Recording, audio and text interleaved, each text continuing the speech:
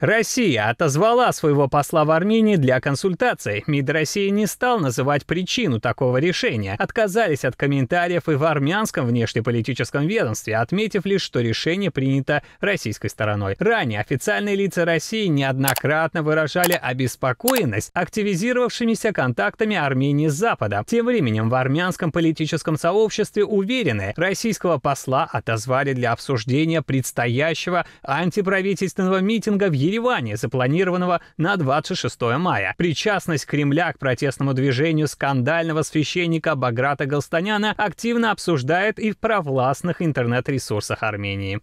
По Конституции граждане имеют право проводить мирную акцию, но мы видим, что есть вероятность провокаций. Демонстранты преднамеренно оскорбляют полицейских, чтобы спровоцировать их на ответные действия. Не исключены террористические акты. Всей акцией управляет Россия. Москва постоянно нам угрожает. Даже на последнем брифинге Захарова, можно сказать, открыто поддержала протестное движение в Армении. Россия впервые на стороне армянской оппозиции. Такого не было во времена митингов против Кочеряна и Сарксяна. Тогда официальные лица говорили, что не хотят вмешиваться во внутренние дела других стран. Что же сейчас по-другому заговорили?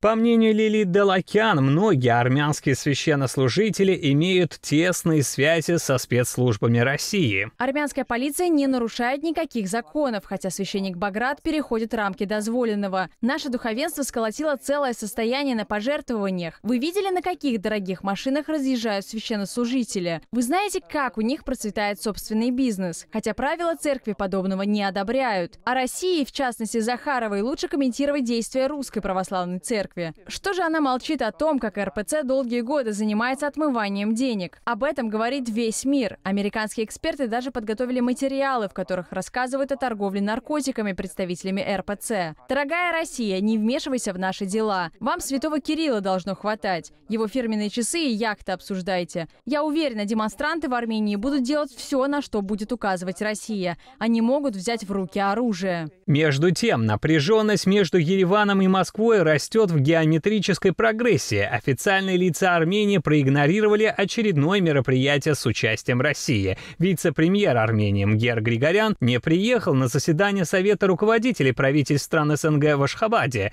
Причиной указаны некие технические проблемы. С неоднозначными заявлениями в адрес России выступил и премьер-министр Армении Никол Пашинян. Он обвинил две страны ОДКБ в оказании помощи Азербайджану во время Второй Карабахской войны. В ответ МИД России России призвал армянскую сторону объявить, о каких именно странах идет речь, раз выдвигаются такие серьезные обвинения.